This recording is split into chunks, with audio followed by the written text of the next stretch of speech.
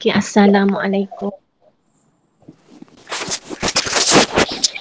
Waalaikumsalam. Waalaikumsalam cikgu. Uh, kita mulalah ya. Cikgu dah tunggu hampir setengah jam ni. Baru 30 orang baru masuk. Uh, mungkin dah lebih 28 orang. Sekejap lagi kita buat checklist eh kehadiran. So cikgu nak masuk tajuk seterusnya pada hari ini iaitu tajuk tiga iaitu berkenaan dengan konsep mol, formula dan juga persamaan kimia. Eh. Okay, dalam tajuk ini kita akan belajar perkataan mol. Okay, mungkin perkataan baru bagi awak. Cikgu pun tak tak itulah tak tak tengok silibus awak masa tingkatan 1 2 3. Adakah awak pernah belajar berkenaan berkenaan dengan mol? Okay, formula dan juga persamaan kimia. Okay, formula ni memang kita dah tahulah. Sal, kalau awak tengok modul yang cikgu bagi dalam WhatsApp tu untuk awak penuhkan. Iaitu kalau formula, contohnya katakanlah kita ada carbon. Okay, carbon. Okay. Formula dia adalah C. Okay. So, so tapi kita tidak fokus kepada carbon saja. So kita fokus kepada sebatian eh, sebatian. Okay. Sebatian ada ion dan ada covalent. Hari ni kita belajar di awal tajuk dua. Eh. Okay. So seterusnya kita tengok konsep mol. Okay. Konsep mol, formula dan persamaan kimia di mana dalam tajuk ini awak perlu tahulah berkenaan dengan istilah-istilah formula kimia, istilah isi padu molar, istilah jisim atom relatif, jisim formula relatif, jisim molar, jisim molekul relatif, mol dan juga persamaan kimia. Ini antara perkara-perkara yang akan kita belajar dalam tajuk ini. Okey, di mana kita akan belajar jisim atom relatif 3.1 3.2 kita akan masuk konsep mol, 3.3 kita akan belajar tentang formula kimia dan akhir sekali adalah persamaan kimia. Jadi hari ini cikgu nak masuk 3.1 sahaja iaitu jisim atom relatif dan jisim molekul relatif. Okay. So mungkin ada yang suka lah cikgu rasa tak tak ramai yang tak suka sate kan.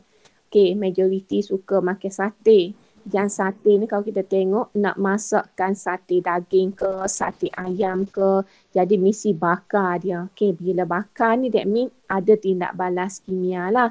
Bila bakar nampaklah ada itai-itai ni. Okay, itai-itai. Jadi kalau kita tengok sate ialah makanan kegemaran kebanyakan masyarakat di Malaysia. So sate diperbuat daripada kepingan daging yang dicucuk pada lidi kelapa atau bulu dan dibakar di atas bara api kayu. Okay. Tahukah anda okay, bahawa pembakaran arang kayu okay, merupakan satu tindak balas kimia. Di mana kalau kita tengok ni arang ni, okay, arang ni, ni arang, arang ni adalah karbon eh. Okay, bila dia terbakar, dia menyala. Menyala ni maknanya dia terbakar. Maknanya kalau kita buat persamaan kimia karbon ini terbakar dalam oksigen, so dia akan menghasilkan gas karbon dioksida. Jadi di mana simbol C ni dalam persamaan kimia merupakan formula kimia bagi karbon. Tapi O2 ni adalah gas oksigen, CO2 ni adalah gas karbon dioksida. Maka dalam tajuk ini, okey kita akan belajar ni lah macam mana nak membina formula okey persamaan kimia. Okey, nak membina persamaan kimia. Jadi nak bina persamaan kimia bermula dengan awak boleh bina formula bagi sesuatu sebatian. Okey. So kita tengok seterusnya. Untuk bahagian yang pertama, jisim atom relatif dan jisim molekul relatif. Okay, ada dua perkara yang perlu awak nampak beza kat sini. Yang pertama atom, yang kedua molekul. Eh. Okay, atom kita tahulah dia satu. Okay, molekul ni dia mesti ada dua atau lebih daripada dua molekul. Relatif ni maknanya perbandingan. Maknanya kita nak tengok jisim atom berbanding. Relatif ni perbandingan. Okey, seterusnya cuba kita tengok kat sini dia kata apa dia. Pernahkah anda cuba mengira bilangan butiran beras di dalam seguni beras? Okey. Butiran beras tidak dapat dikira kerana saiznya amat kecil. Ahli kimia juga menghadapi masalah yang serupa di mana ais atom amat kecil menyulitkan penentuan bilangan dan jisim sesuatu atom. Okey, bagaimanakah ahli kimia mengatasi masalah ini? Maknanya, kita nak tahu jisim atom relatif. Atom pun kita tak nampak. Okey, bukan saja atom, molekul pun kita tak nampak. Adakah kita nampak molekul air di dalam segelas air tu? Kita bubuh air dalam gelas, kita nampak tak molekul air? Tak nampak kan? So, bila tak nampak, macam mana kita nak ukur jisim dia? Okay, macam mana ukur jisim dia? Sebab dia kecil sangat kita tak nampak kalau beras ni at least kita boleh lah bilai so so so tetapi tak tahulah sampai bila kita boleh bilai uh, beras ni dalam seguni beras tu. Okey, berapa biji beras dalam seguni beras. Okey, tu masalah dia. Jadi macam mana ahli kimia mengatasi masalah ini? Maknanya, kut mana-mana pun dia kena tahulah jisim atom tersebut. Okey, barulah dia boleh uh, okey boleh membuat perhitungan okey yang melibatkan persamaan kimia dan sebagainya. Okey, jadi macam mana dia nak mengira jisim bagi sesuatu atom? Okey. Jadi jisim atom relatif, siapa tak tutup mic tu? Jisim atom relatif Okay, macam mana dia buat jisim atom relatif. So, ahli kimia menggunakan konsep jisim atom relatif iaitu dengan membandingkan jisim atom dengan suatu unsur dengan jisim atom. Okay, sesuatu unsur dengan jisim atom unsur yang lain yang dipilih sebagai piawai.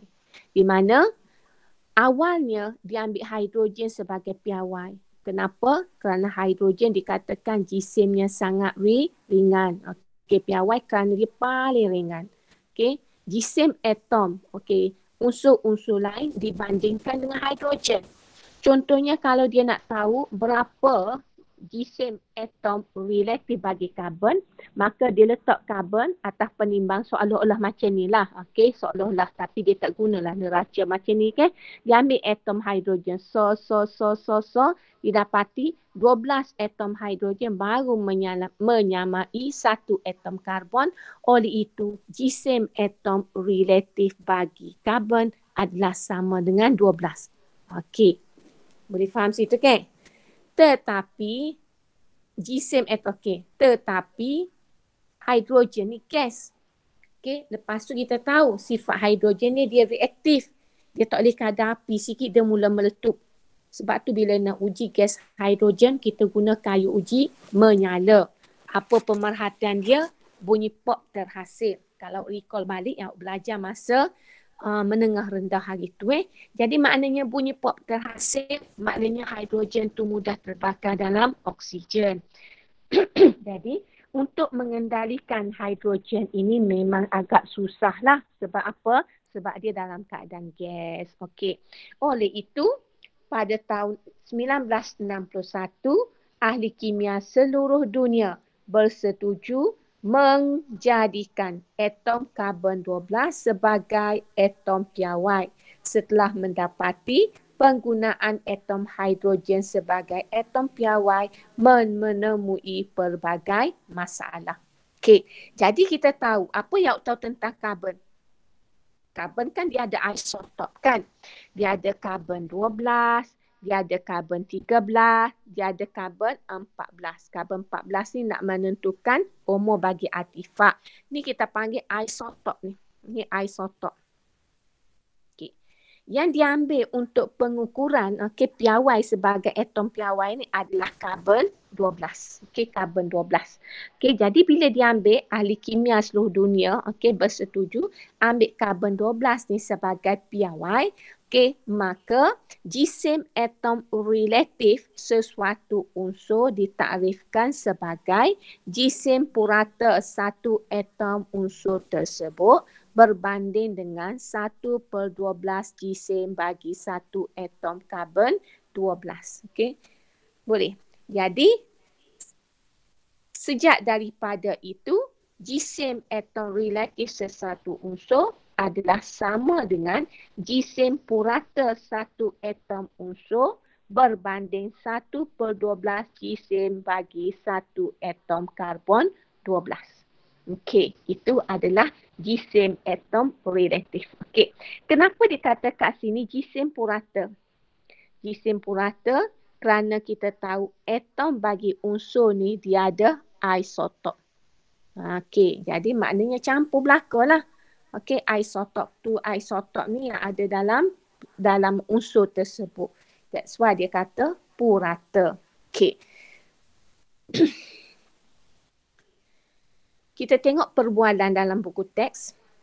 Okey, cikgu kata apa dia kat sini kata, terangkan mengapa ada nilai 1 per 12 dalam takrifan jisim atom relatif berdasarkan skala karbon 12. Okey, tadi kan kita tengok kenapa jisim atom relatif sesuatu unsur adalah sama dengan jisim purata satu atom unsur berbanding 1 per 12 darab jisim bagi satu atom karbon 12. Kenapa 1 per 12? Kenapa 1 per 12? Okey. 1 per 12 ini maknanya satu atom karbon 12 diberikan okey unit jisim tepat sebagai 2 unit. Jisim tepat sebagai 12 unit.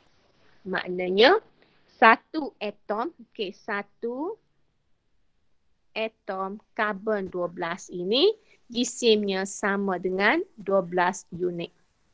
Okey.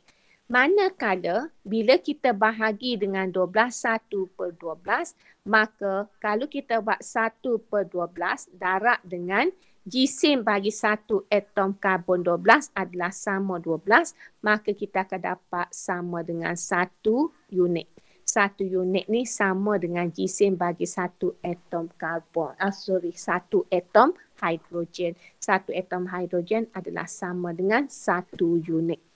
Okey, boleh follow tak cikgu cerita ni? Cikgu terang ni? Boleh. Boleh. Boleh faham? Ada soalan nak tanya? Tak ada. Boleh faham tak? Boleh faham. Boleh. Tak ada soalan. Tak. Okey. So kita tengok. Ya. Itu nukleus ke? Apa dia? Jisim tu nukleus dia ke?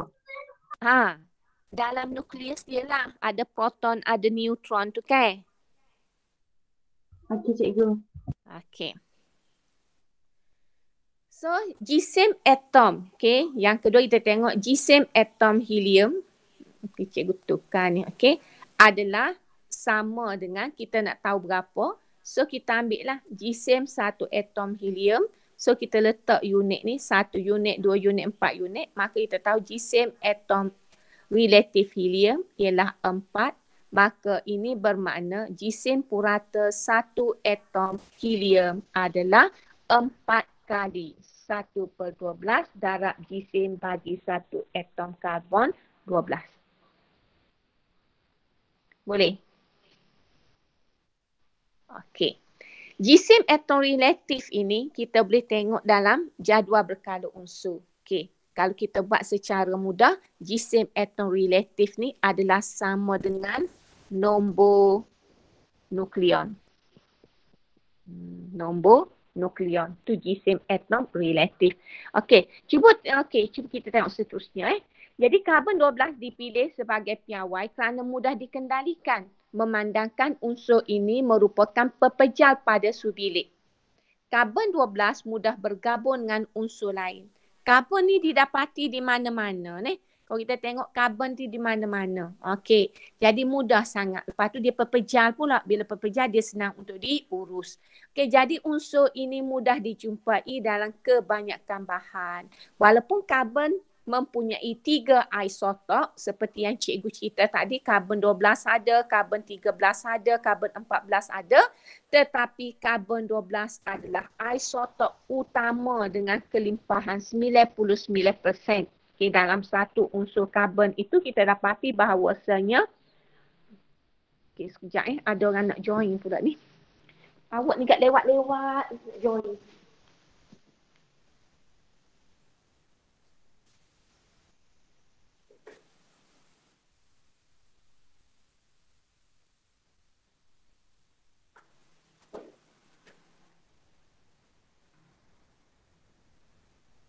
Pukul 8.40 baru nak join kelas cikgu.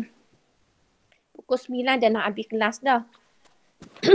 Kena bangun pagi-pagi lah. Awak memang dah sekolah dah sekarang ni. Walaupun awak tak pergi sekolah, duduk kat rumah memang awak dah sekolah dah sekarang ni ya.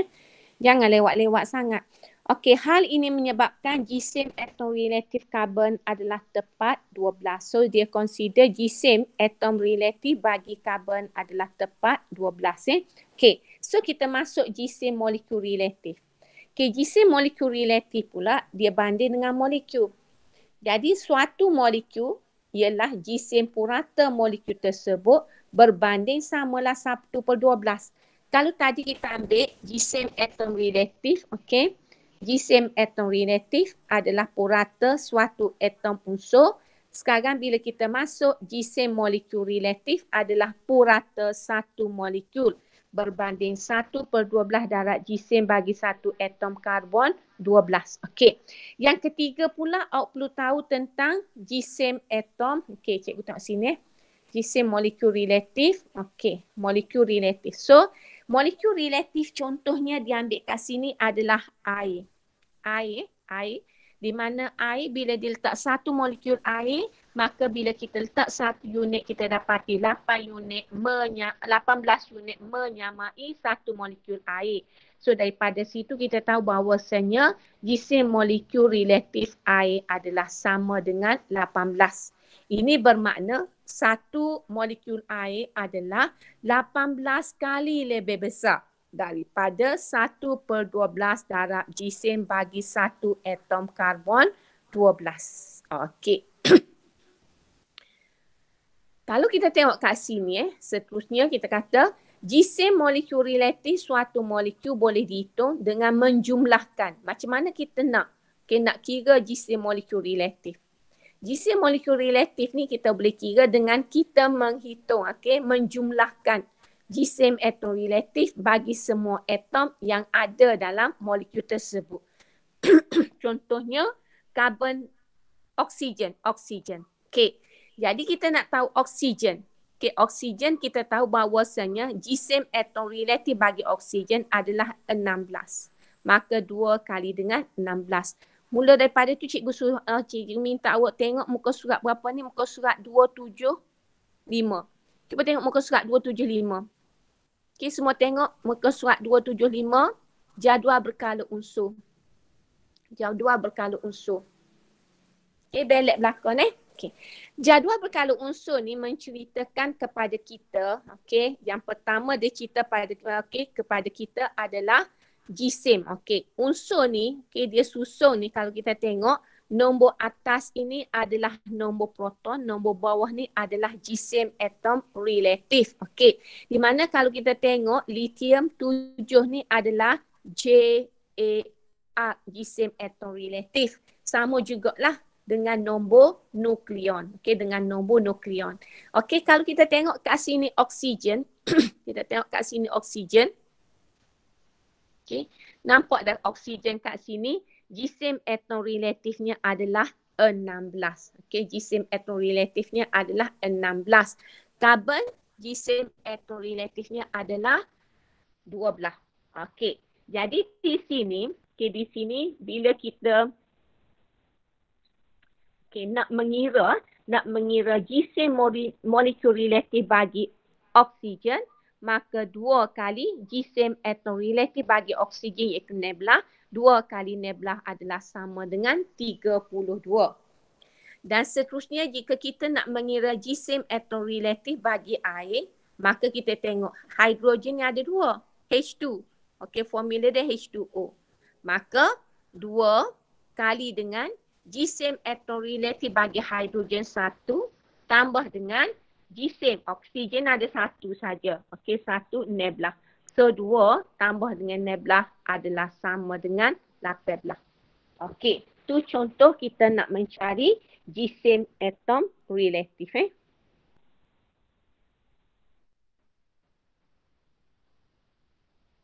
Okey. Kalau cikgu kita tengok kat sini, tengok kat sini, cikgu ambil kat sini contoh lagi. Cikgu ambil contoh lagi, katakanlah awak diminta mencari okay, um, jisim molekul relatif bagi gas karbon dioksida. Karbon dioksida formula dia kita. Kita pun tengok karbon berapa? So, so jisim atom relatif dia 12. maka 12 tambah dengan oksigen ada dua. Jisim atom related oksigen berapa? 16. Ha. Jadi 12 tambah dengan 2 kali 16.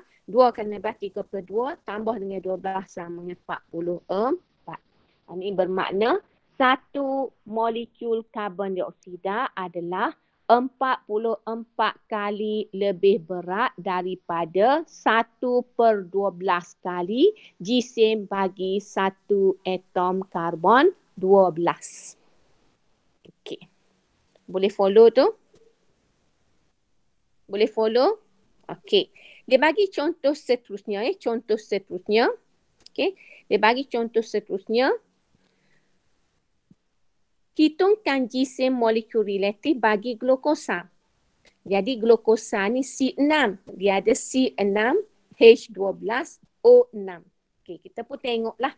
Tengok jadual berkala unsur di mana JAR untuk hidrogen 1, JAR untuk karbon 12 dan JAR untuk oksigen sama dengan 16. Maka bila kita nak cari jisim molekul relatif, okay, untuk glukosa, maka kita darablah 6 darab dengan 12 iaitu karbon ada 12. Okay, 12 darab 1 sebab hidrogen ni ada sama dengan 12. Satu hidrogen satu. Okay. Oksigen ni pula 6. Okay, satu oksigen adalah sama dengan 16 jisim atom relatif. Maka tekan kalkulator, oh dapatlah 180. Maknanya satu molekul glukosa ini adalah kalau kita nak buat okay, dia punya takrifan dia okay, satu molekul glukosa okay, adalah 180